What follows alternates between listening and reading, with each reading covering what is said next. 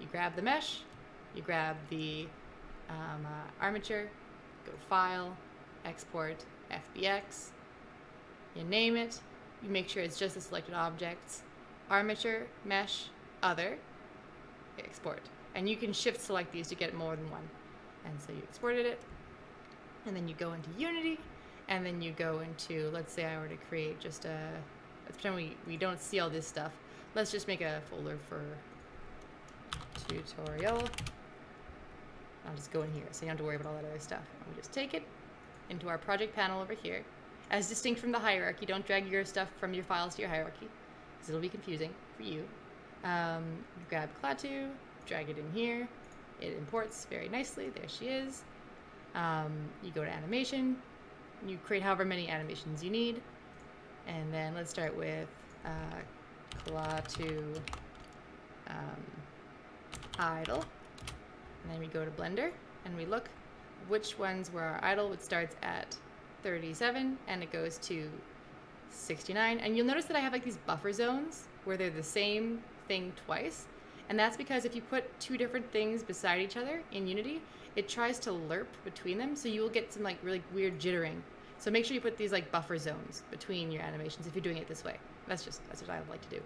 Okay, so we say that's 37 to 69. 37 to 69. And then loop the time, loop the pose, apply. And then fly to walk. And that one was do, do, 3 until 34. 34, boom, boom. Nice. So now we have Klaatu walk. And we have Klaatu idle. Perfect. And so we go into this and we grab them. Control D. Now they're separate. And I'm just gonna keep these in here. And in the same folder, I'm also gonna create and controller, Klaatu, uh, practice, and in control. And I'm just gonna close this up for a second, put this away, so I don't have to worry about it. I'm gonna bring in the scene view, scene view, scene view, scene view. I'm close this as well, so I don't have to worry about that.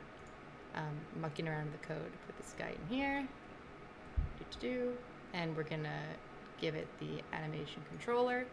We're also gonna give it its own material. So we're gonna create, right click, create material, practice, Klaatu material, and we're gonna give it the base map. We're gonna drag in the texture, boom, and we're gonna apply it to the base map, boom.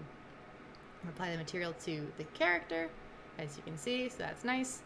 And um, there you are. So we've got that. So then let's go to the atom controller.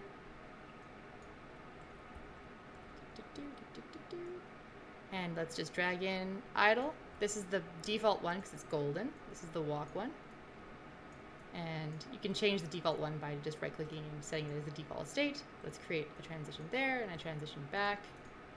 And I'm going to create a parameter for this, which is speed. There we go. and so when this is greater than 0.01, it'll go up there. If this is greater than, if this is less than 0.01, it'll go back. And we're gonna get rid of the end time and we're gonna bring the offset of the transition back to zero. Just like that. Do do do. Nice. Okay. So, mm -hmm. let's see how that looks. Come on, come on. Come on. I don't want I don't want maximize. I want just regular. There you go. So now you can see it. I'll bring the animator over here so we can start to uh, see what's going on. Say I put this to 0.5. There you go.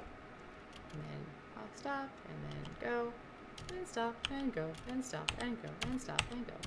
And there you have it. nice. And that's that's pretty much it. That is bringing a character from Blender into Unity. So, all right, I'll stop the recording here so I can give you guys a short video on this. Boom.